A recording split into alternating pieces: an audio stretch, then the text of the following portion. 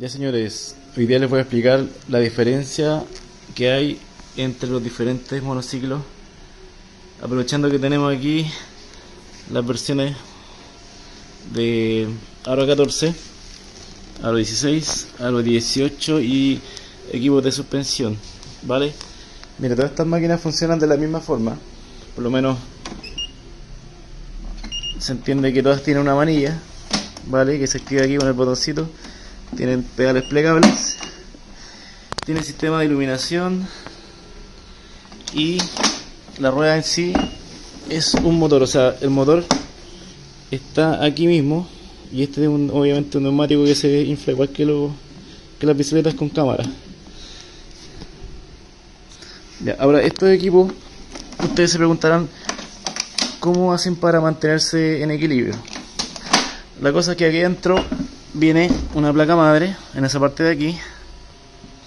Y esta placa madre permite que el equipo se mantenga siempre en equilibrio. Mira por ejemplo si yo lo tengo encendido se mantiene recto. Si yo lo apago el equipo muere. Te fijas como que cae.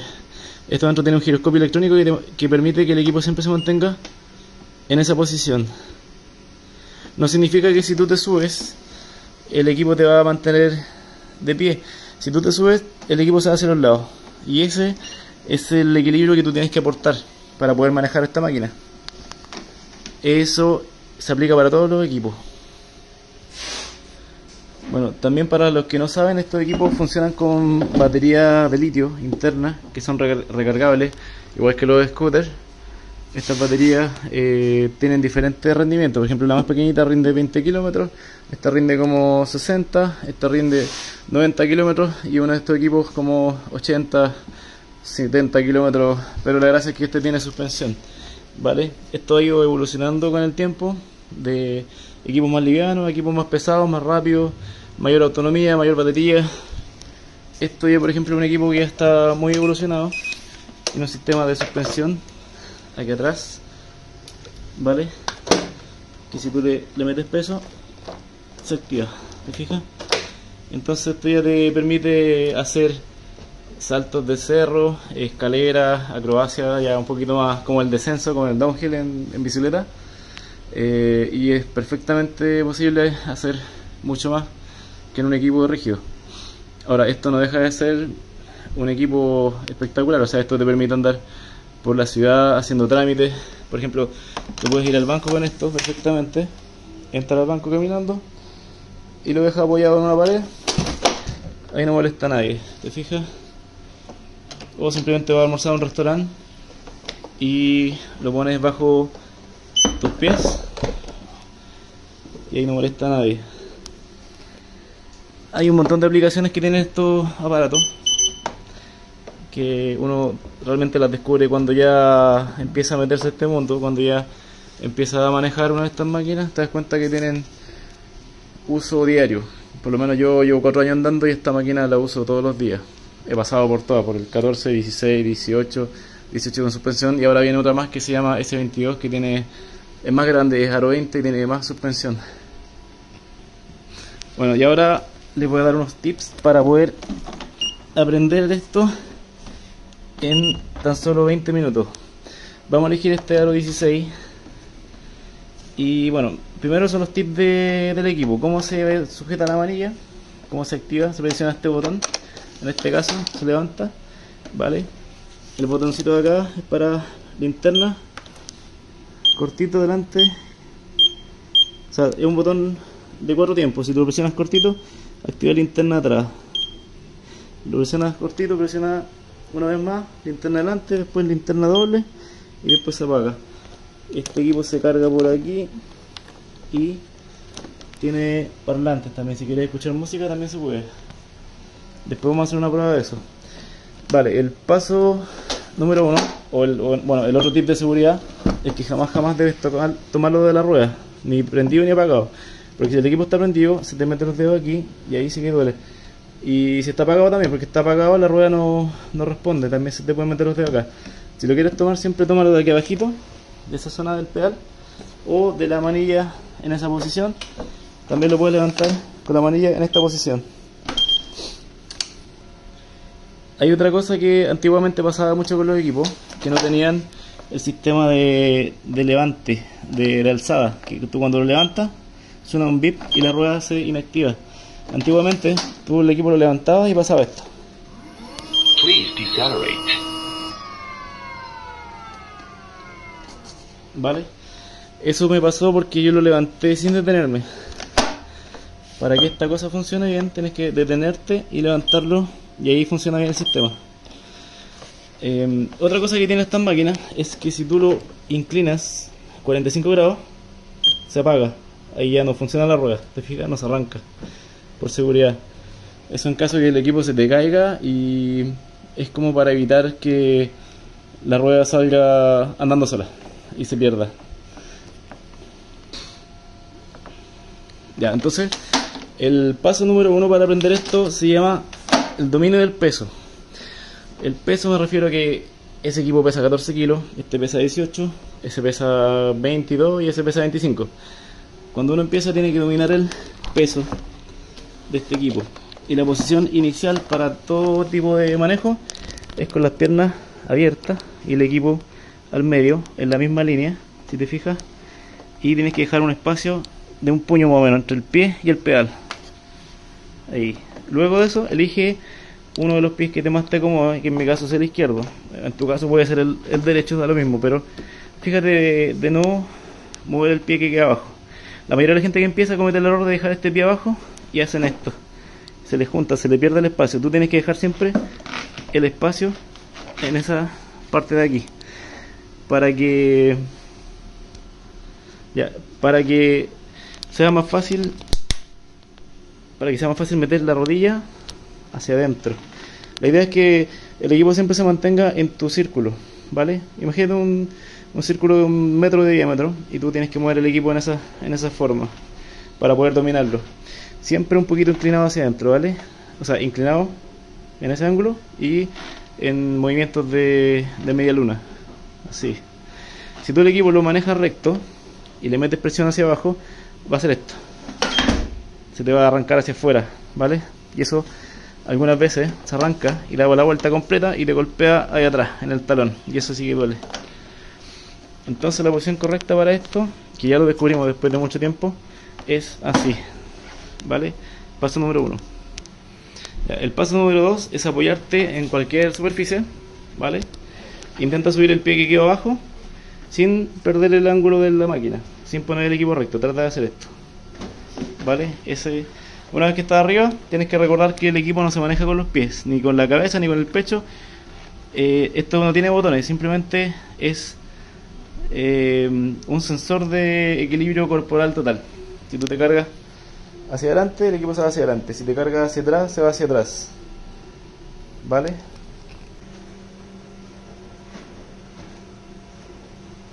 Ya. El paso número 3 es idealmente afirmarse en alguna parte y hacer el movimiento que se llama torsión. La torsión hace hacer esto con el equipo. Es un movimiento que viene de, de las caderas, viene de acá arriba. ¿Vale? Este movimiento te permite ganar la habilidad de, de controlar la dirección del equipo. Y eso lo puedes practicar, no sé, unos 2 minutos, 3 minutos. La idea es que el cuerpo se vaya soltando. Si empezaste recién hoy, la idea es que te dé unos 30 minutos de práctica, pasando por todos estos tips que te estoy dando. ¿Vale?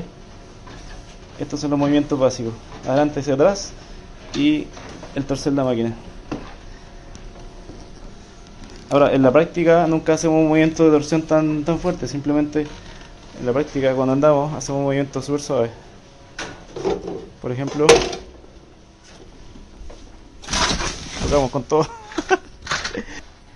Ya, el movimiento de torsión es así, es como un culebreo bien suave. ¿Vale? El movimiento es así de suave. Para eso se practica el movimiento de torsión. Ya, el paso número no sé cuánto, el 4 creo que. Ya. Paso número 4 es bajarse del equipo.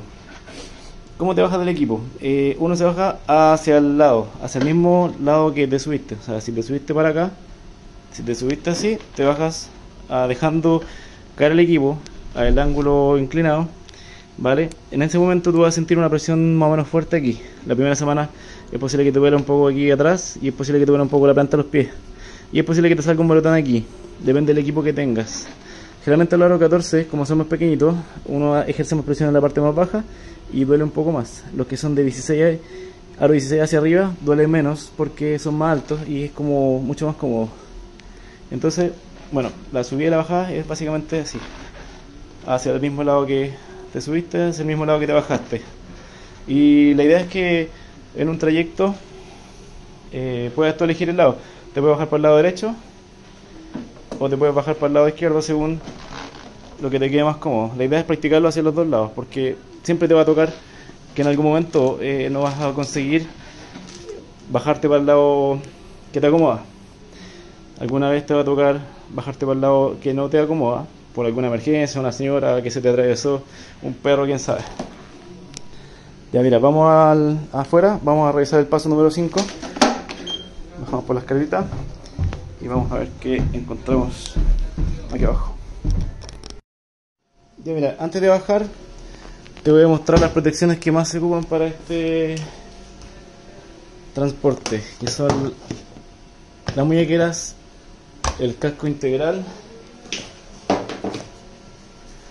las coderas y faltan las rodilleras, ¿vale?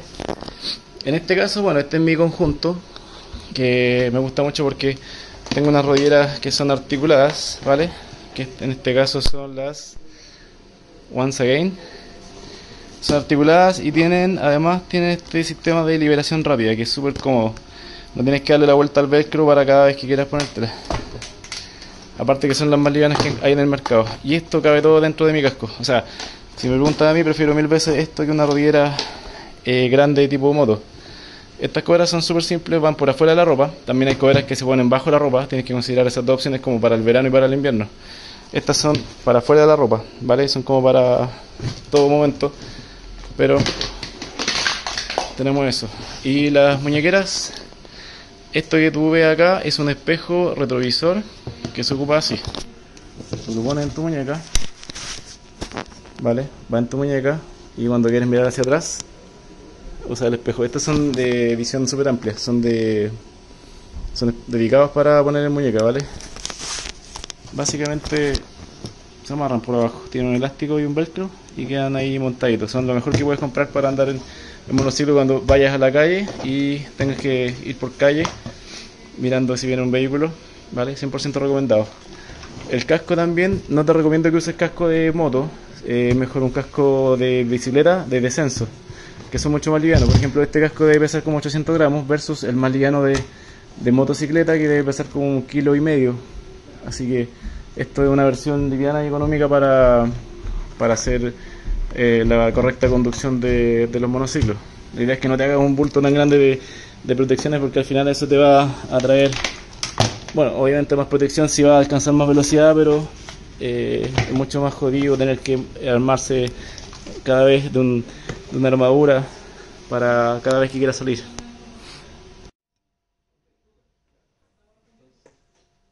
El tema de la instalación de las protecciones puede ser un poco tedioso para algunos, pero si lo piensas bien y ves este video te vas a dar cuenta que no toma más de un minuto.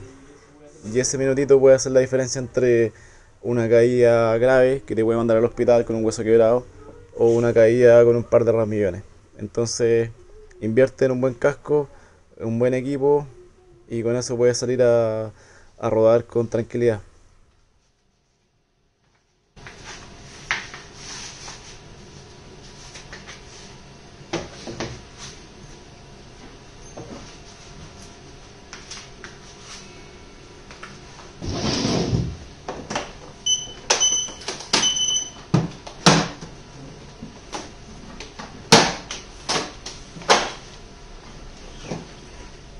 Ya, de salir a andar necesitas un buen par de lentes para el tiro. Y ahora sí, ahora les voy a explicar la segunda parte de la práctica de cómo empezar a andar en un monociclo. ¿Cierto? Le bajamos las patitas, ya elegimos nuestro pie, el que nos queda más cómodo, en este caso es mi pie izquierdo, ¿vale? Ya sabemos que podemos hacia adelante, hacia atrás. Sabemos que podemos torcer el equipo. Y lo siguiente es buscar una pared más o menos larga. Nos apoyamos acá y empezamos a avanzar cada un metrito, ¿vale? Nos damos distancia. Empezamos a avanzar. Al principio va a ser súper difícil hacerlo, pero hay que intentarlo.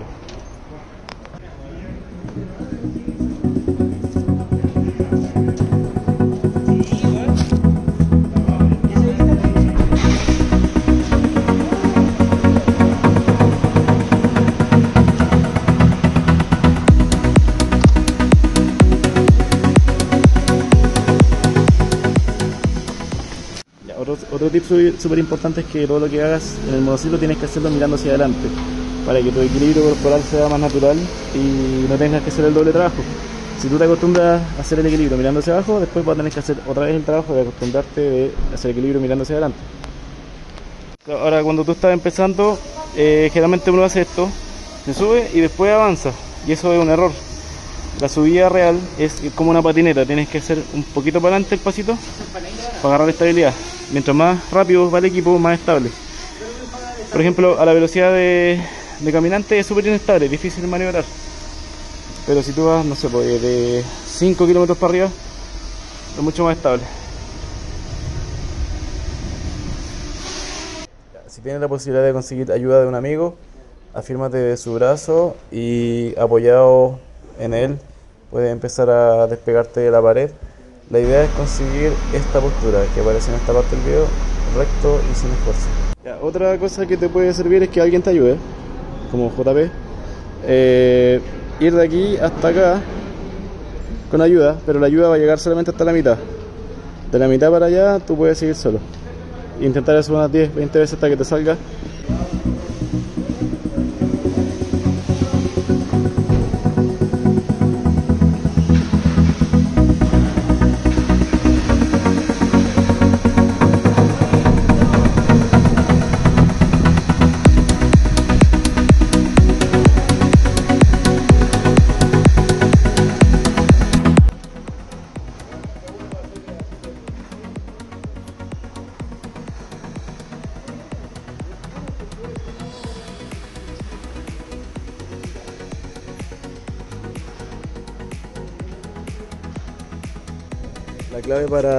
Conseguir ir solito de muro a muro es que tengas una velocidad progresiva.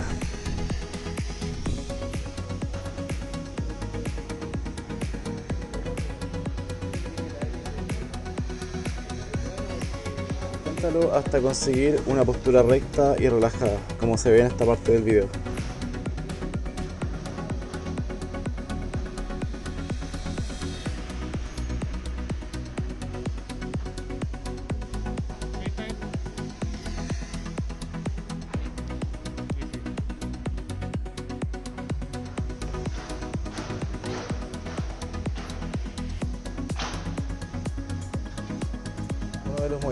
Más te recomiendo practicar es el zigzagueo o el culebreo que le llaman.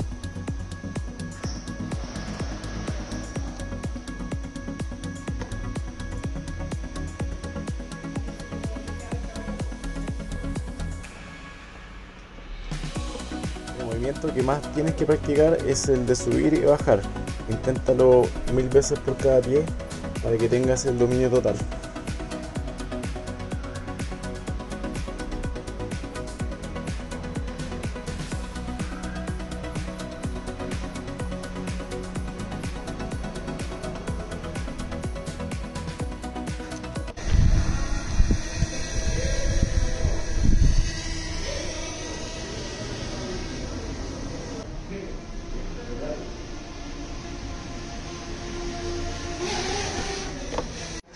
Eh, para poder doblar, el movimiento básico para doblar es torcer la máquina, ¿vale?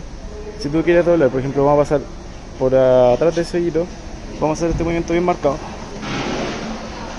Así, mira. Con la cadera.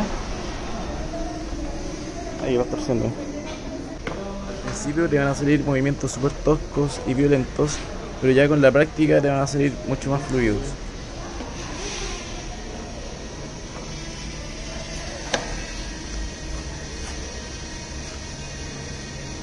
Ahora les voy a explicar eh, de qué se trata este equipo que tiene suspensión y de qué se tratan estas gomitas que ponemos en los costados.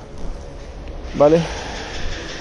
Este es un equipo que tiene suspensión, un amortiguador de aire, tiene control de rebote, tiene control de precarga, eh, los pedales también son plegables y básicamente a esto es lo que podemos llegar hoy día, eh, donde nosotros le ponemos estas gomitas que son básicamente para poder saltar y que el equipo que pesa 25 kilos te acompañe con el salto, porque si tú tratas de levantar 25 kilos no es fácil. Entonces necesitamos que esto tope de alguna forma en el pie, así, para que cuando saltemos se tranque el pie y el equipo te siga con el salto.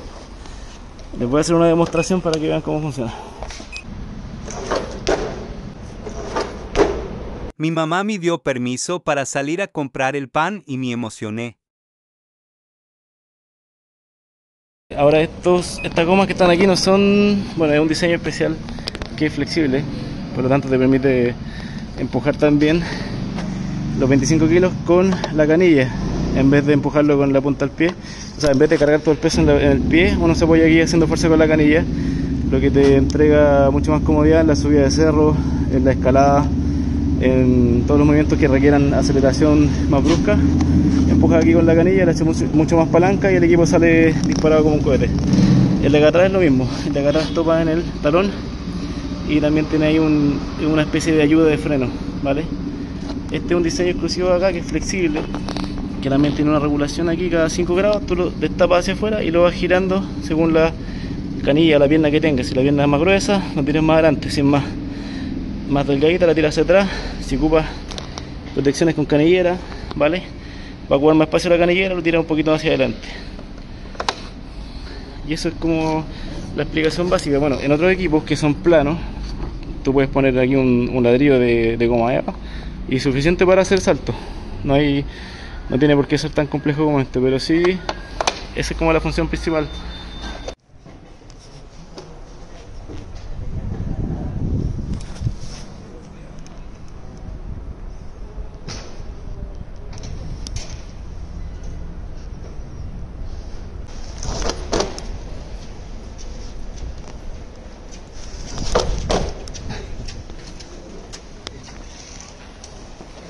¿Cómo quedó bueno? Las naves, estas son las naves. Las navecillas que todos amamos. Que tanto adoramos.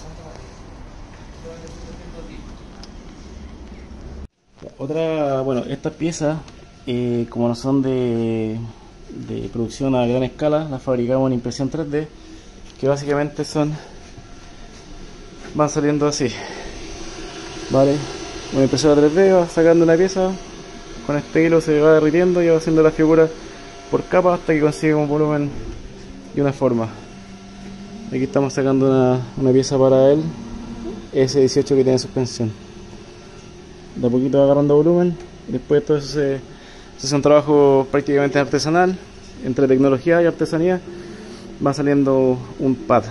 Y eso es lo que ocupamos para saltar. Ahora, típicamente cuando uno está andando en monociclo, siempre la gente te pregunta cosas, o sea, cómo no te caes, cuánto valen, qué velocidad alcanza, cómo lo hace, oye, debe, usted debe tener muy buen equilibrio. Pero la verdad es que no, porque estas máquinas hacen, como te mostraba anteriormente, hacen la mitad del trabajo. Entonces uno inicialmente va a sufrir eh, dos días en tratar de subirte, más o menos. Bueno, algunos lo hacen en cinco minutos, pero todo, todo depende, así como un promedio son dos días para subirse y una semana más o menos para estabilización muscular. Y de ahí para adelante es pura felicidad. Eh, ahora, ¿cuál es el equipo que es mejor?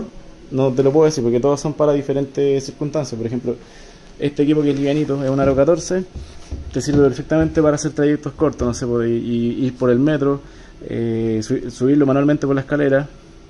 Eh, este que es 18 pesa 25 kilos, más o menos, 23 kilos. Eh, claro, ya no es necesario meterse al metro, te puede ir por la calle, velocidad 50 km por hora.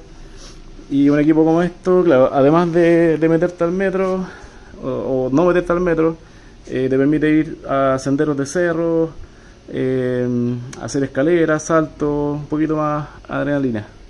Entonces, no siempre va a ser el equipo adecuado, el más, el más potente, el más caro. De repente, para, para tu uso diario, mucha gente lo usa día a día, es simplemente un viaje de 4 kilómetros, te sirve ese, o 4 de 10 kilómetros, tranquilo, ese. Si quiere andar como loco, yendo al cerro, yendo a todas partes, a la junta, a la asado, a la fiesta, al banco, a hacer trámite, este. Y punto medio, queda para todo, elegante, eh, angosto, potente, algo así. Es más pesado, eh, 50 kilómetros por hora, algo así. Entonces, no hay un monociclo eh, que sea universal, todo depende del uso que le quieras dar. Ahora, si es por recreación, siempre te recomendaría más potencia como este y este. Si es por eh, un uso trayecto, un trayecto fijo, cortito, para ir a trabajar y volver, o ir a estudiar y volver, el más liviano es más fácil de, de manejar, más fácil de guardar, ni un problema. Ahora, estos, estos que son cerraditos, estos son duros, son súper duros. Aquí tú ves, estos son equipos de prueba de préstamo. Todos estos están machucados porque son equipos de préstamo. Entonces, cuando alguien, por ejemplo, viene a nuestro local, quiere aprender, nosotros le pasamos un equipo de préstamo para que se lo lleve a su casa, practique una semana y nos trae de vuelta. ¿Vale? Aquí mismo también le enseñamos y le damos una clase de 20 minutos para que se le quiten un poco el, el miedo, ese, ese, esa pared psicológica que te impide creer que esto es posible. Pero sí es posible.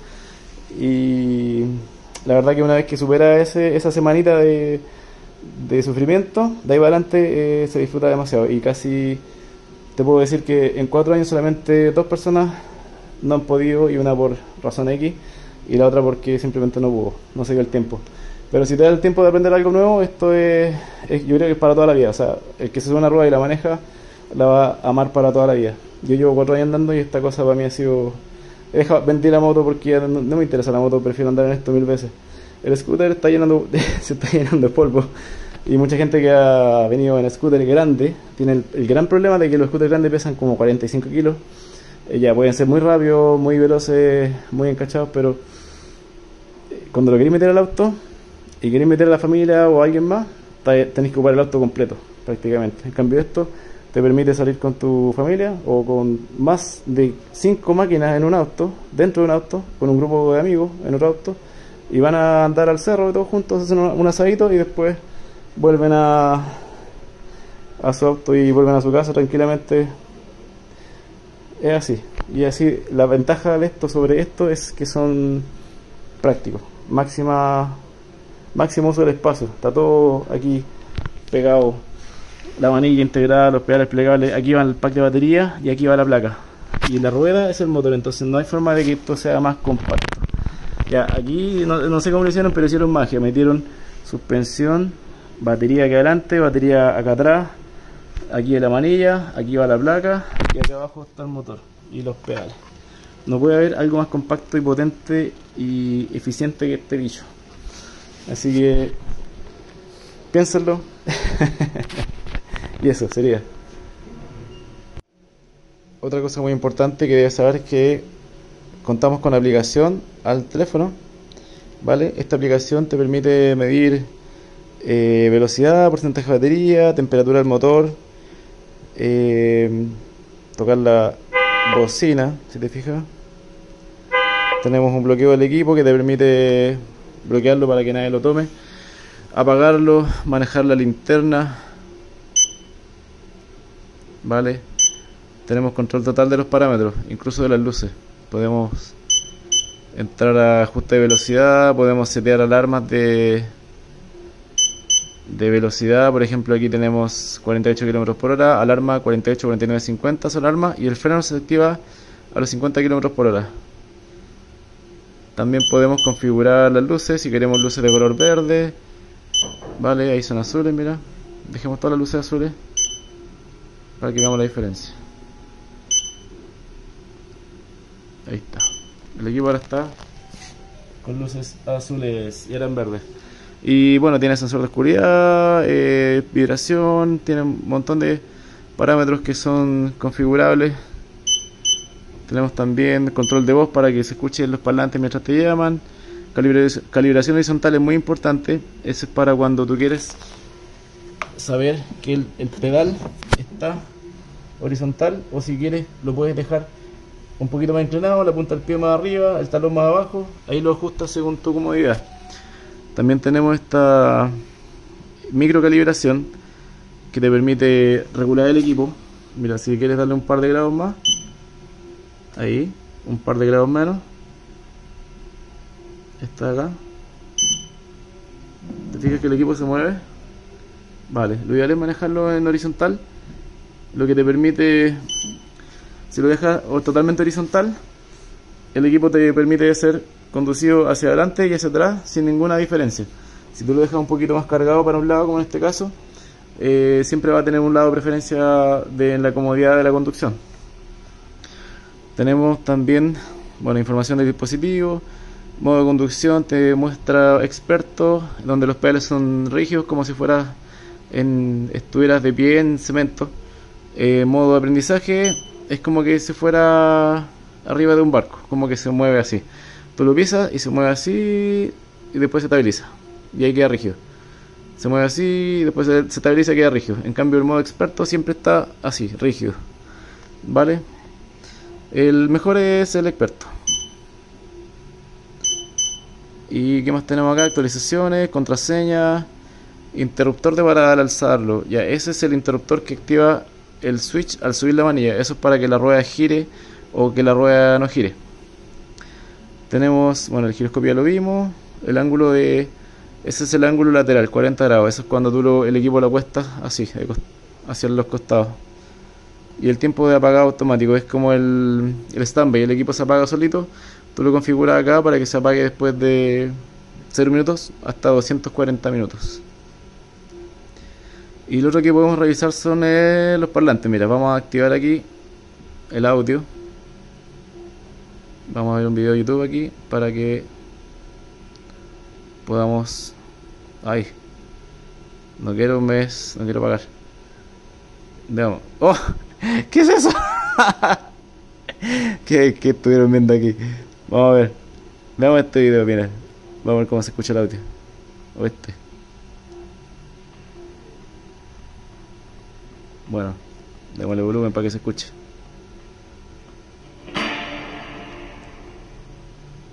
Eso es el audio que proviene del equipo. I got the spot that I was hoping to get.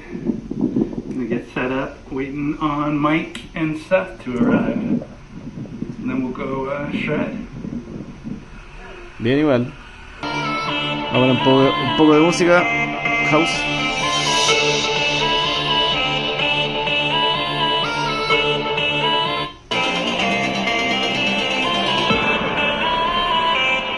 Está bien. Ya, eso es.